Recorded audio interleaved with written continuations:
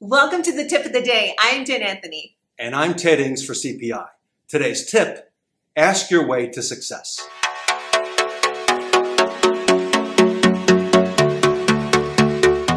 If you knew two little words that could help improve your sales, you'd use them, wouldn't you?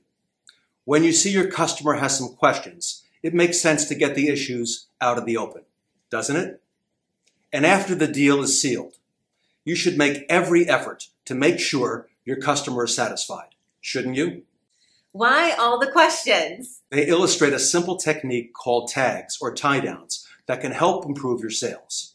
By getting your customers to agree with you in small steps along the way, you have a better chance of reaching an agreement when it's time to do business.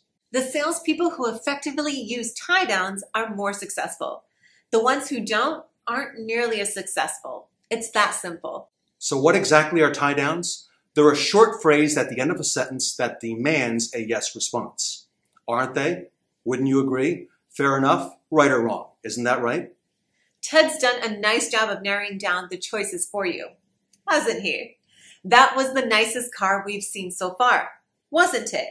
It would be wise to give this decision very careful consideration, wouldn't it? Practice tie downs with your friends and coworkers, and remember to use them sparingly as needed. There's also another benefit. They keep you in control and confirm that your customers understand what you are saying during your sales presentation. And that it's okay to continue. And that's the tip of the day. Isn't it about time you call us today at 212 763 0016 to discover how we can help? Thanks for watching.